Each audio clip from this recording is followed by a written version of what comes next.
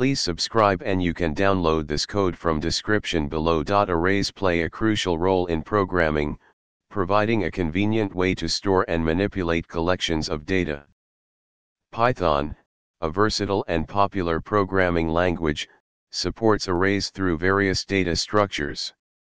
In this tutorial, we will explore Python array notation and cover different ways to work with arrays.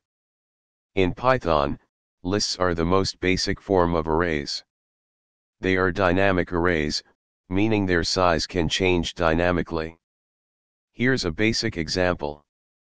NumPy is a powerful library for numerical operations in Python.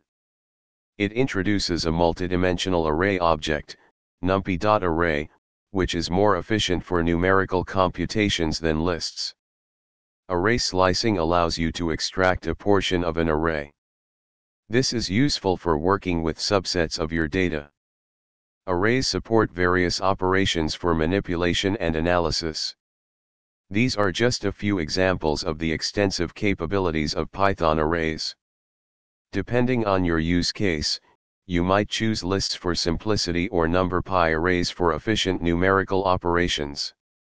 Understanding array notation in Python is fundamental for handling data efficiently in your programs. Whether you opt for lists or number NumPy arrays, Python provides a versatile set of tools for working with arrays in various scenarios. Practice these concepts to enhance your skills and make the most of Python's array capabilities. ChatGPT